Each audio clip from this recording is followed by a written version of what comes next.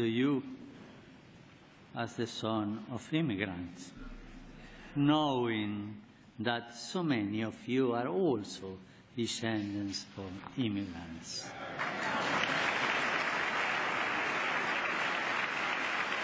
Tragically, the rights